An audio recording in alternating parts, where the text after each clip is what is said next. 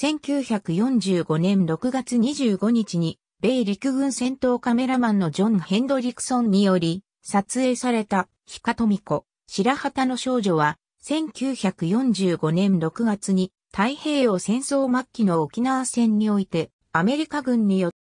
小説は、1990年には、フジテレビで、2009年には、テレビ東京で、それぞれテレビドラマ化されている。本記事では、写真の撮影とそれが一般に知られるようになり、ヒカが小説を執筆するに至った経緯についても説明する。該当の写真は沖縄戦が終盤となっていた1945年6月25日にアメリカ軍のジョン・ヘンドリックソンが撮影したものである。おかっぱ頭の少女が木の棒の先に白旗をつけて手を振る様子が捉えられている。この写真は沖縄戦の研究に当たっていた大田正秀が調査研究の過程で発見収集し、1977年に刊行した写真記録これが沖縄戦だに掲載された。1984年、アメリカ軍による沖縄戦の記録映画を募金によって買い取る子供たちにフィルムを通して沖縄戦を伝える会の1フィート運動でもたらされたフィルムにこの写真と同じ場面を撮影したものが含まれていることが判明し、テレビニュースなどで紹介される。1986年からは運動で集められた他のフィルムと共に編集された沖縄戦未来への証言が公開された。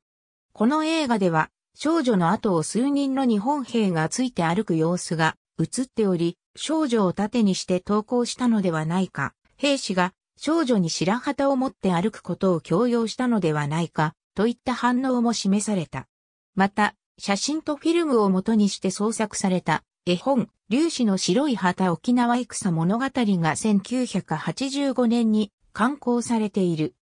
1987年10月、ヒカトミコが自分が白旗の少女であると名乗り出た。当時ヒカは48歳で沖縄タイムスのインタビューに応じる形であった。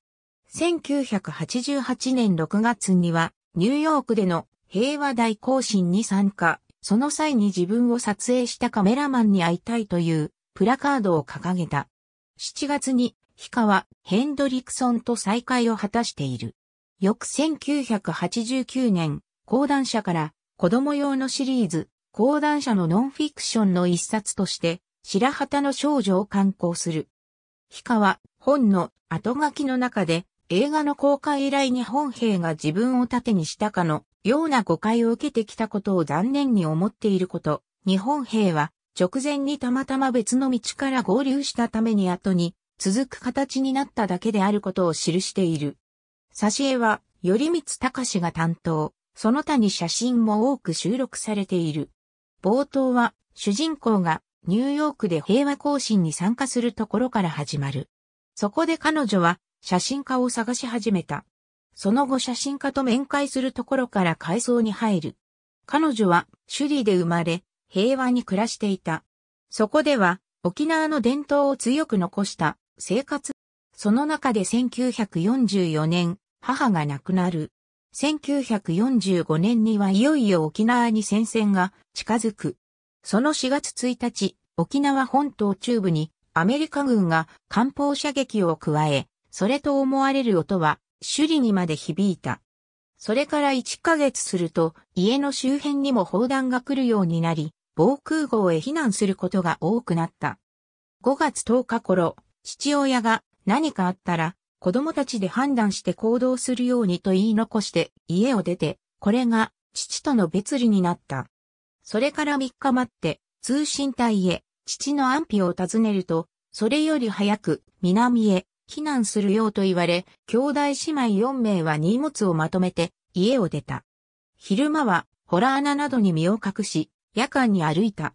まずは父の消息を尋ねて新壁に行くが、やはり不明で、それ以降は当てもなくとにかく南へ移動する。そのさなか、コメスで一緒にいた兄が流れ玉に当たって死亡、さらに南へ移動するさなか、主人公は姉たちとはぐれてしまう。それから彼女は一人で避難業を続けることになる。そうして彼女は多くの戦死者、自殺する兵隊や集団自決する住民などを目にしながらさまよい、あるがまでは日本兵に殺されかける。一人きりでの移動が1ヶ月ほどになった時、とあるが間に入ったところ、そこには老夫婦がこもっていた。その老人は、両手両足がなく、目の不自由な老婆に、身の回りの世話をさせ、その洞窟で暮らしていた。彼らは少女を優しく受け入れ、少女はここで初めてその身を休めることができた。その外では、戦闘が刻一刻と激しくなっていた。彼女は老夫婦に、ここで一緒に暮らして、一緒に死にたいと言ったが、それに対して、命の大切さや生き延びることの価値を説かれる。数日後、洞窟の外からアメリカ軍の呼びかけが聞こえた。これから爆弾を投げ込むから、その前に投降することを呼びかけるものだった。老人は老婆へ指示し、自分のふんどしで白旗を作らせ、その旗を彼女に持たせた。そして、世界中の約束だから、これを持ってれば大丈夫だと言い聞かせ、自分たちを残して一人で投降するよう促した。